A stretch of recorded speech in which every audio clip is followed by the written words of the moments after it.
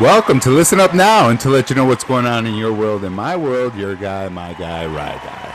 Really awesome interview ahead here today. We're joined by Belinda Johnson, certified holistic nutritionist and health and fitness coach at First Choice Primary Care. Well, welcome, Belinda. Thank you for taking time and joining us on, on this wonderful platform we call uh, podcasting. Well, first of all, let me thank you both for uh, having me on. I appreciate the, the time and the space and the platform to be able to talk a little about what I am an expert in.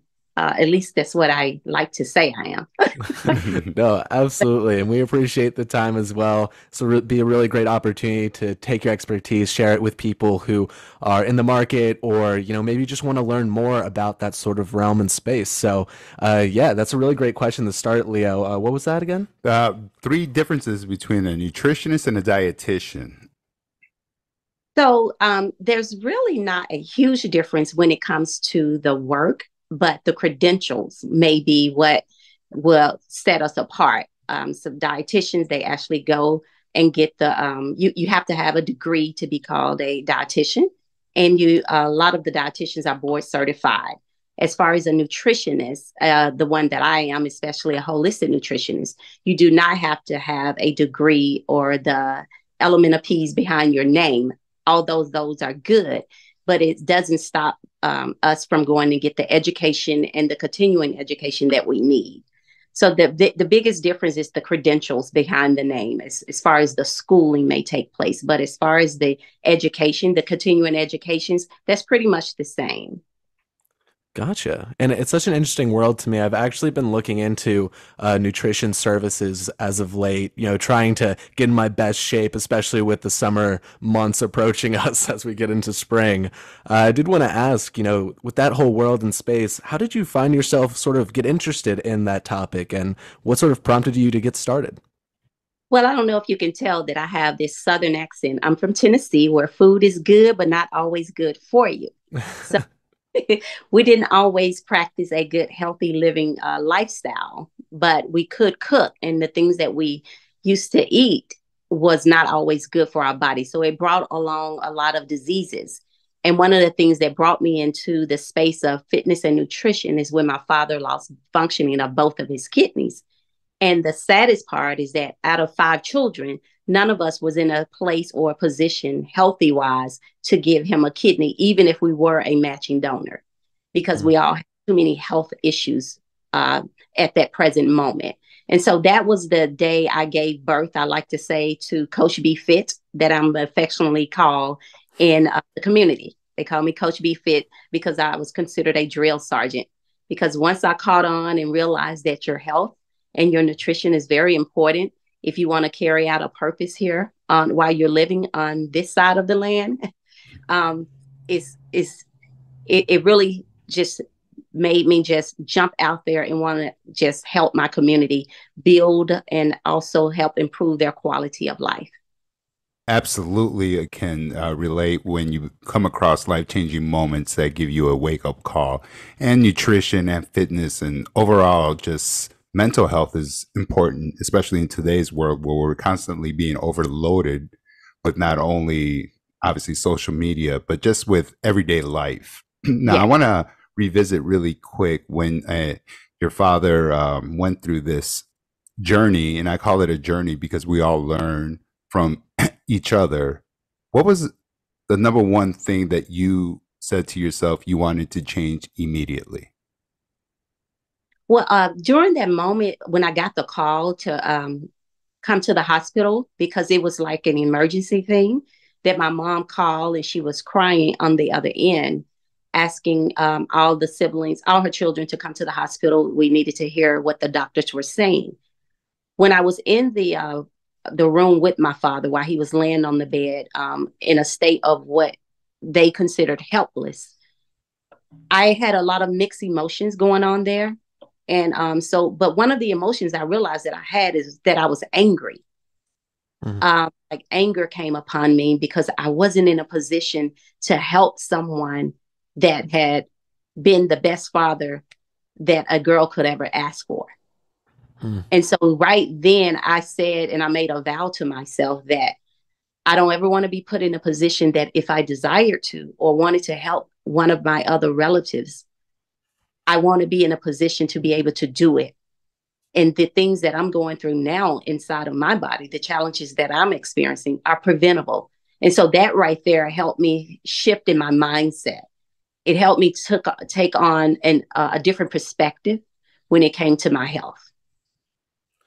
Absolutely. I know you said that was sort of the birth of Coach BFit, you know, this uh, this dietary drill sergeant of sorts. Uh, I did sort of want to then touch on. So, from that experience and going forward, what were sort of the next steps for you? Did that influence sort of your pursuit in education, or um, you know, sort of the avenues that you explored from that point on? What sort of resources did you find from that point on? Could, could you tell me a little bit about that? Absolutely. So, the first thing I did with little to no education in the health and fitness uh, industry I just went cold turkey as far as I just started walking. And at that time, I had a 400 pound, a little over 400 pound sister. So I took her as like my first client, and we just started a walking journey. Mm. And then we went from walking to uh, just eliminating things that was just obvious that we did not need, like the gravy with the chicken, the um, the potatoes every day with every meal, the cake and ice cream or a dessert with every meal. We started eliminating small things. So the small steps that we started taking started making a big difference that was noticeable to the community. And so as the community got involved, they began to see the changes in our bodies and notice the weight loss uh, started dropping and the activity that was going on in the neighborhood that wasn't going on at that moment, like do, getting up, walking at five o'clock in the morning before work that wasn't normal activity in our neighborhood. And so we started doing that, which uh, provoked me to go out and get more education. So I started attending different classes that the hospitals would offer. And I started attending all the different types of um, free classes that they were offering at the different colleges, local colleges that were around the Tennessee area. And that led me to go and get certified as a uh, first group instructor. And then I started a boot camp. And then I went from get, becoming a group instructor to doing getting um, certified as a personal training trainer. And from there, it just led to wanting to know more and uh, sharpening my skills and my t- and grabbing on and trying different tools to uh, actually get to the place I am now. And um, now I partner with an amazing Dr. Rucker, uh, doctor, which is Dr. Ariel Rucker, which is one of the reasons why I um, decided to partner with her is because she she approached health the health industry with integrity, compassion, and with an open heart. Mm. So she she actually comes in, she listens, and she pays attention to what the patients need versus what they come in thinking that they want. And she doesn't just throw and push medication, although that is a part of some of uh, the patient's uh, comprehensive care plan she pushed the whole thing, like mind, body, and spirit. She she helps with the mental health as long as well as the physical health. It, it's like a care team, and then uh, she also includes physical therapy for those that need that.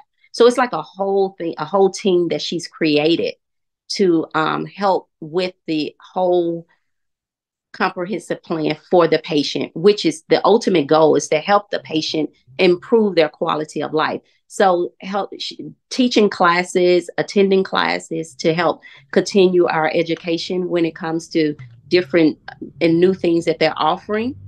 It's just about going going out there learning what we need to learn to help implement it and share it with the patients so they can just improve their quality of life whether that looks like managing medication or trying to come off medication whatever it is uh, healing an injury that they may have experienced uh, dealing with the whole care team and adding fitness, nutrition, and PT to it, you you're creating a um, a, I like to call a trend setting. Um, mm. It's a very holistic synergy there being developed by all parties for the betterment of the patient. And once again, we're joined by Belinda Johnson, certified holistic nutritionist over at First Choice Primary Care in Rockville. And we would like to thank you again for this information you're giving us. And more importantly, we have a very important question from Rye Guy. Yeah, it, you touched on some really great things there, you know, at the start, you know, especially about taking those first steps, you know, getting active, you know, taking it one day at a time, you know, and steadily building yourself to a point where uh, things become more manageable. You can put together a good plan. And I'm sure these are the sort of plans and uh, techniques that you use when working with clients, right? Um, so I did sort of bring the question to mind. I was wondering, how you approach designing exercise routines for your clients and like the varying levels of mobility or physical limitations they may have. So everything is done through a detailed assessment. So once they see the primary care, I take what the primary care have charted in their in their uh, chart, and I take a look at the overall health of the client or the patient. And what I do is to go through a detailed assessment which includes uh, lots of questions uh, that talks about their lifestyle, their habits, what their goals are, whether it's um, losing weight um, or uh, if you may be underweight, gaining weight, gaining muscle, whatever that may be. We take a detailed assessment of the client, look at the whole care team plans that they have for the patient. And that's how the um, the comprehensive plan for the nutrition and fitness part is designed out based off of the assessment that we take. But the assessment is very important. It's very detailed so we can get a clear picture of what we're looking at and it, it'll help us customize the plan to fit the customer's ultimate goal and that is to improve that injury and help get in a position where we don't have to repeat these injuries so it's changing the mindset as well as creating a plan to help improve more uh, to get them back to being more uh, with the mobility part that they they have probably have a little challenge in in that area. 100% and i'm sure there's a handful of health conditions that can you know influence sort of this approach and where you go from there. You know i'm thinking of conditions like maybe diabetes cancer heart failure.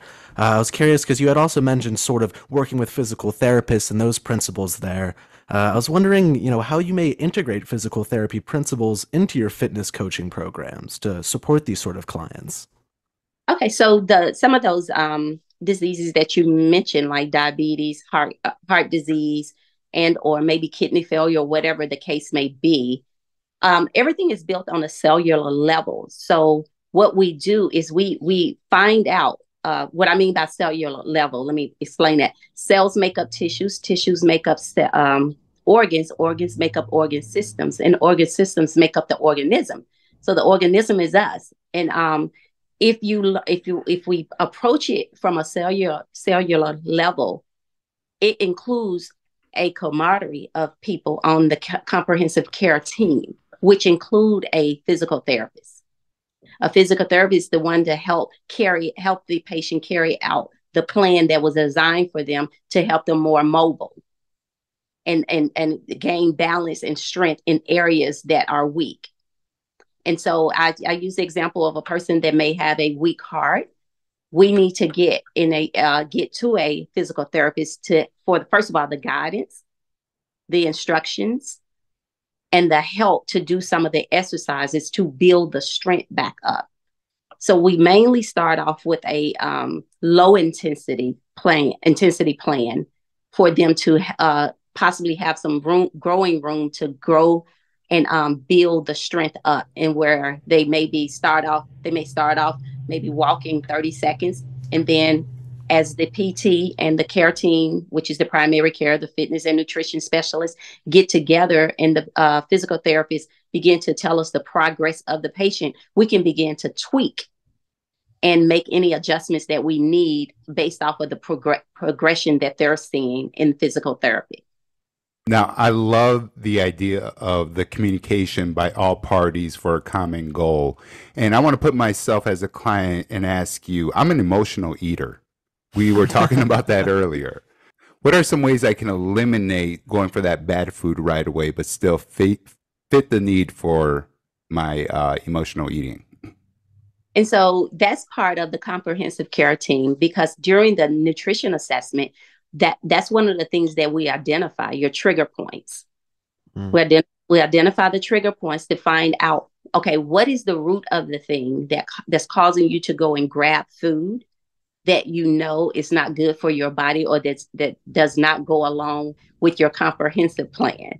For example, if you have heart issues, we shouldn't be gra- grabbing fried chicken because that's just going to help add to the issue that we already have. So we want to know what is the trigger points that's causing you to go in that direction. If you're craving chocolates, if you have that what we consider a sweet tooth, okay, what we need to maybe identify what the body is missing. Maybe you're missing some magnesium in your body.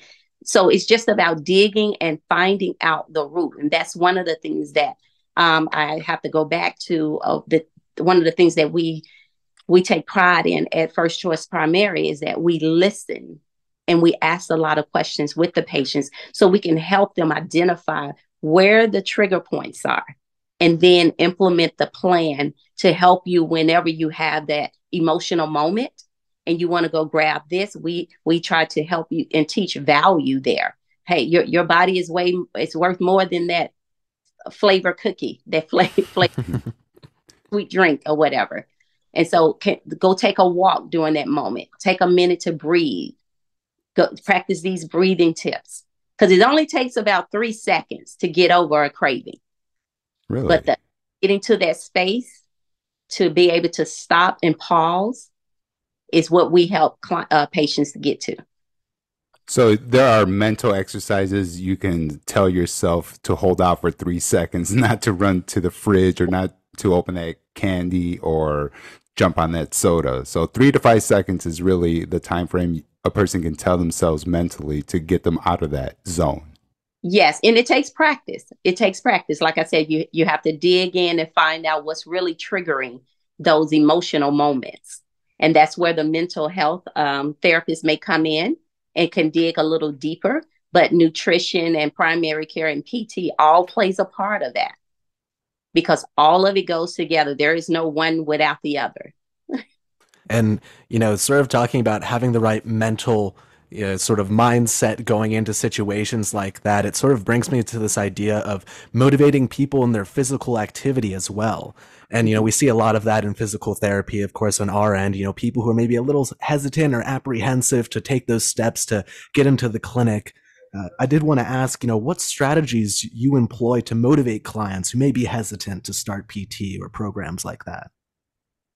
Well, for the like I said at first, we we help them see the value of their body, the value of their body, and um, t- digging deep, asking them about their passion. What is it that they love? Because some people just need a little awakening, mm. awakening on the inside to realize, hey, my, my knees are worth going to physical therapy.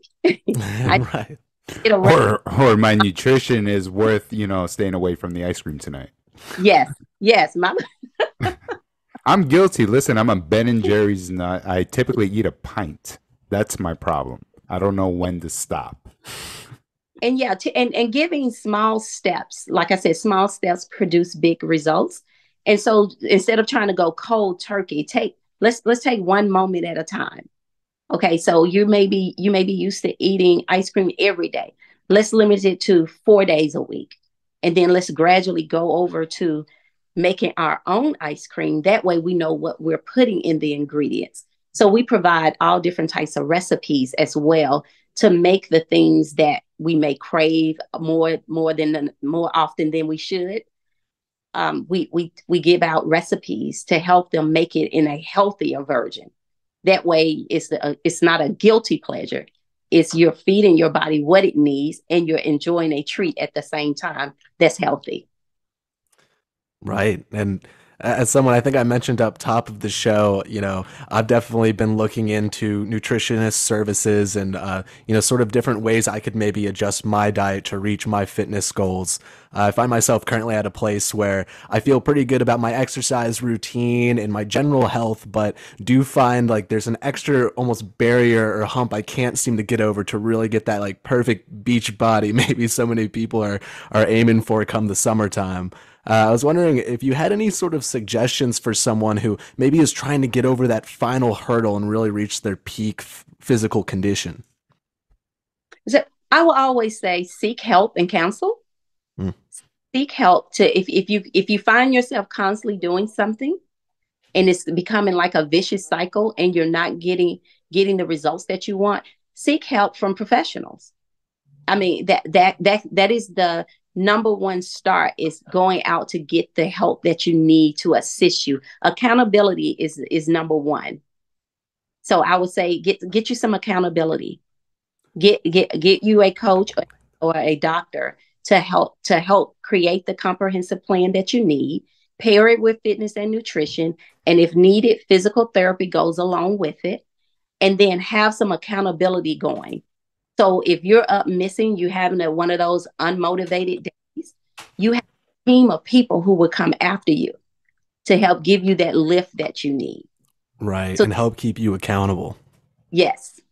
And that's why we're, we're so happy to be here once again, joined by Belinda Johnson, certified holistic nutritionist, health and fitness coach at First Choice Primary Care. Definitely a great resource for people out there, maybe like me, or maybe a few steps in the other direction, looking for that accountability, for that discipline, and for a good plan moving forward in their fitness journeys. Yeah, I think that's a great point there, right, guy? How you need accountability in the PT world and that whole space.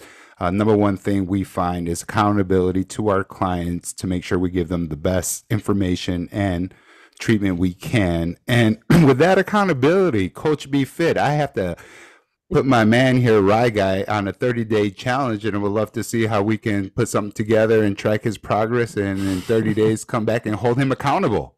Oh, let's do it. And let's join them, Leon, you and I. All right. Well, we're definitely going to find a way to make it happen.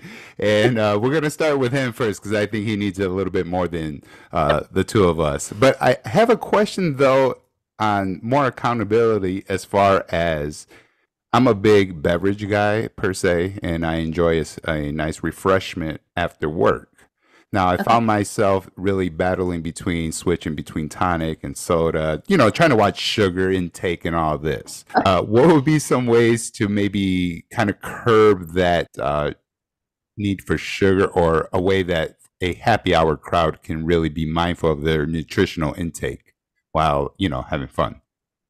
Okay, so um, I believe in like the 80 20 rule. So that 20% is what I call, I don't call it cheat moments or cheat diet or cheat meal. I call it a flex moment. So if you're depositing more of the good, healthy stuff in your body, no, your body's going to automatically be triggered to crave the healthier things. And so on the 20% that you decide that you may want to go hang out with friends or do a happy hour after work or something like that, the 20% is not going to harm or bring any hurt, harm, or danger toward you. Uh, you just do that one thing you're going to do. A 20 the 20% that you're going to use to flex is not used for a whole day. It's just used for one item that you want to flex with. Um, and then the sugary drinks, once again, the more you put the good stuff in your body, the more your body would crave that.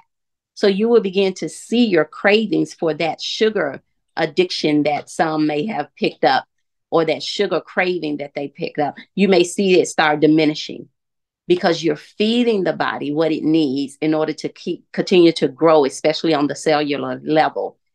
And your body's going to begin to crave the things that it needs in order to keep thriving versus just surviving. And on that note, there, while we're trying to survive at a happy hour, how, it, it, should there be a certain intake ratio for water to beverage, two to one, three to one to kind of like maintain certain uh, levels in your body from going one way or the other? Um, I like to use the uh, analogy: just drink half your body weight. Make, but do it intentionally every day. At least half your body weight, unless you have. This is a dis- disclaimer: I don't know anybody that will be listening to this. There are there are health issues or anything, so please consult your primary care or your medical provider and please but, visit the good people over at First Choice Primary Care over in Rockville and visit uh, Coach B Fit there. But on the cheap lit, on the cheap plug there, uh, yes, please definitely continue. Yeah, but um, a half your body weight of water to stay hydrated. And but the thing is, is be intentional about that. Don't just be all over the place drinking, drinking here and there. Be intentional about you know you drank 64 ounces a day if you're 128 pounds. You drank at least 64 ounces of water. You know that you you set yourself up for success because you measured out what type, how much water you're going to drink it, when you're going to drink it, and that way the body is is uh, has plenty of fluid in it. And so by the time you um, get ready for your um, beverage, as far as alcohol, um, that's that's uh, that's on a case by case basis. I can't say, hey, you can have one or two drinks a week or one a day. It's on a case by case basis. But I will tell you to at least drink half your body weight of water every single day intentionally. 100%. You know, our body is mostly water at the end of the day. So, you know, it's definitely something that we want to stay you know up to speed with you know keep uh, plentiful inside us and um, this talk about sort of moderation balance discipline has also got me thinking about the flip side of things with exercise. You know i know for me sometimes i try to get in this overload mode where i'm like oh if i just work out every day of the week for this amount of time then you know maybe i'll reach my fitness goals. But find that certain practices like that may not have the greatest longevity uh, I was just wondering if you could discuss a bit the importance of rest and recovery in conjunction with physical therapy exercises and how you educate clients on balancing activity versus rest. Okay, so I usually give these three points, these I call them three keys to life when it comes to your fitness and nutrition. If you have you you, you must create a vision, just like people create um, financial visions, business goals, and all of that. You have to first locate where you are physically. Locate where you are health wise. Ask yourself, what does being healthy and fit look like for you right now? Not when you were in high school, not when you were the best football player in the world, but what does being healthy and fit look like for you right now?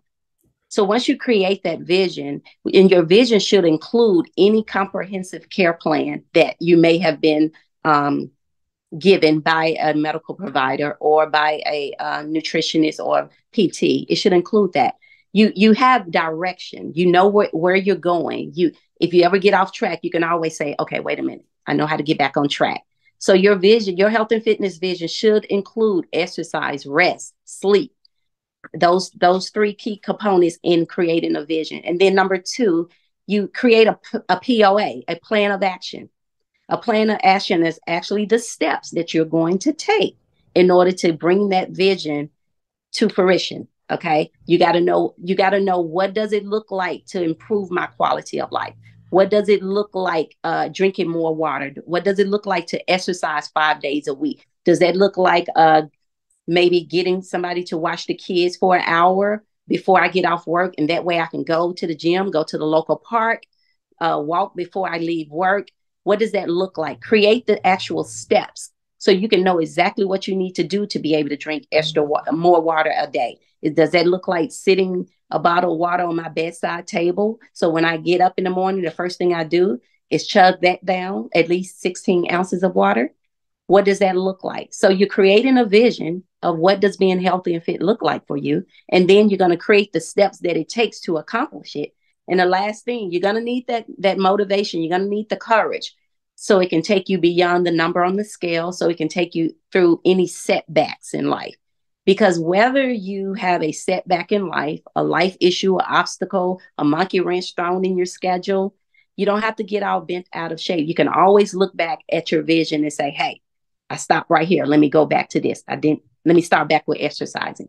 Let me start back with drinking my water. So that courage would take you far beyond any obstacle in life.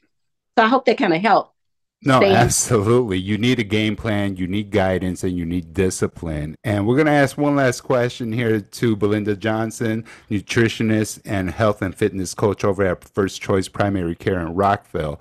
Uh, Belinda, Coach Be Fit, if you could wave a magic wand, what would you like to see changed in your industry? Oh, wow that's a broad question, but okay, I, will narrow it down to one. yeah, yes, we're gonna have you back on to do the other two thousand three hundred forty-six. It's it's putting more value on fitness, nutrition, primary care, and the PT, making it more communication with the whole team, so everybody can be together for the patient's plan. I just think the communication with the whole team is what we kind of lost, especially after the pandemic, when things began to open back up after the pandemic, the loss of communication with the whole team for the patient.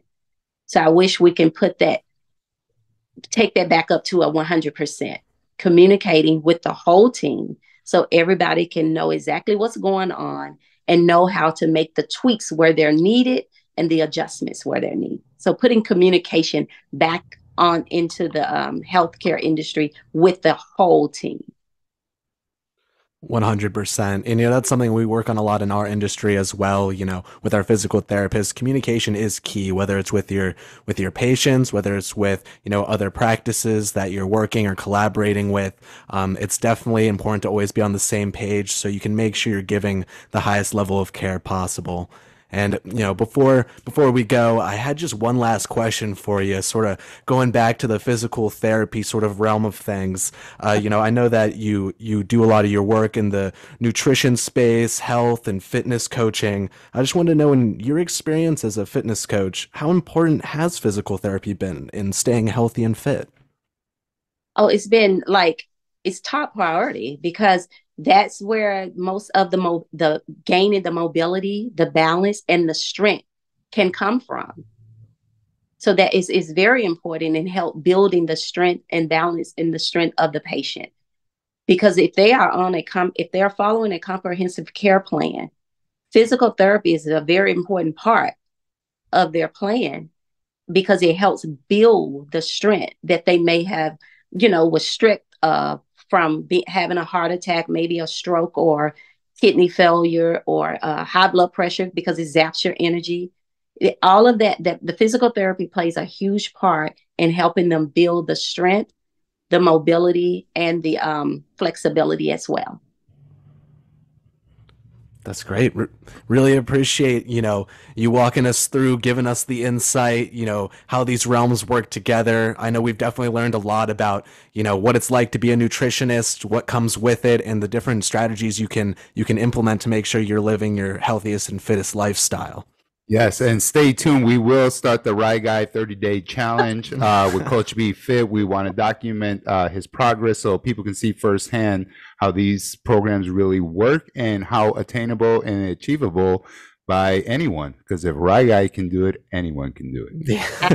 and that's the benchmark right there. It really is, uh, like uh, Belinda said, taking those first steps, small steps at a time, uh, and you know, staying disciplined. You know, making sure you have a good balance and you know, keeping accountable. So, you know, again, really appreciate your time today, Belinda. I know our our meeting time is coming to a to a close end. I think we got about three minutes left before it closes on us. But um, is there anything you wanted to shout out or say before we wrap up for today? Um, I want to say uh, once again, thank you all. We appreciate you. We are you all are one of our top people that we do refer our clients out, patients out to when it, it, those that need physical therapy. I appreciate you all teaming up with us and keeping the communication open so mm-hmm. we can all be on one one page, helping improve the quality of life of the patients. And um, I'm Belinda Johnson, your fitness and nutrition specialist. I look forward to seeing anyone that listens to this that's in need of a nutritionist and, of course, a primary care with Dr. Aria Rucker. We are available at First Choice Primary Care.